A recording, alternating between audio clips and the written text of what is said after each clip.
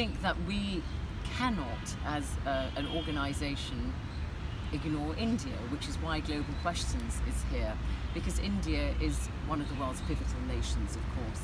A lot of developing countries look to India to see how they have really transformed the economy here, um, technologically driven in many ways. And obviously, it's also the world's biggest democracy.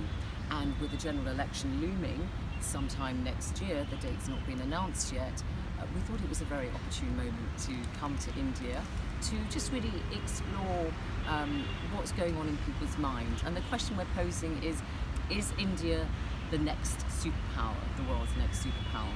And that's what we want to really um, examine.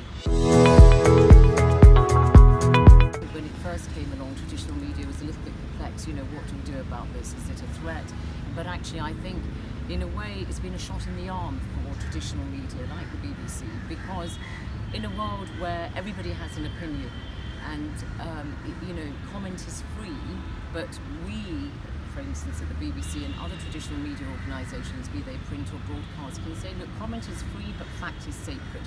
And what we deal with are facts. And what we deal with is you know unbiased presentation of uh, news. We'll give you on the one hand this and on the one hand that.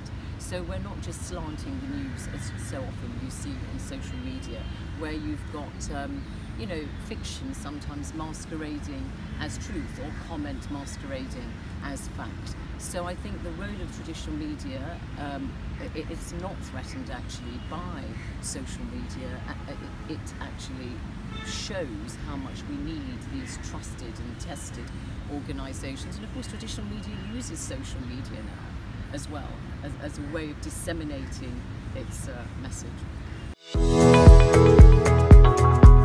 I think there's nothing wrong with um, a political leader using social media to communicate with voters or potential voters and, and, citizens at large. I think that's a good thing, you know, because obviously um, audiences is what matters for um, anybody in the media. But that doesn't mean they should neglect the traditional media, because the problem with social media is it's a one-way conversation hmm. usually. And I think that that is one of the disadvantages of social media is that politicians use it to communicate their message, but they don't necessarily use it as a means of dialogue. Whereas in an interview situation in traditional media, you can. I think the Indian media, you know, is wonderful. Uh, I really do. I, I think that, um, you know, use of language and the kind of um, you know, variety of voices that you have is something that you really must cherish because you know, as I said, a free media is a cornerstone of democracy, and India rightly prides itself on being the world's largest democracy.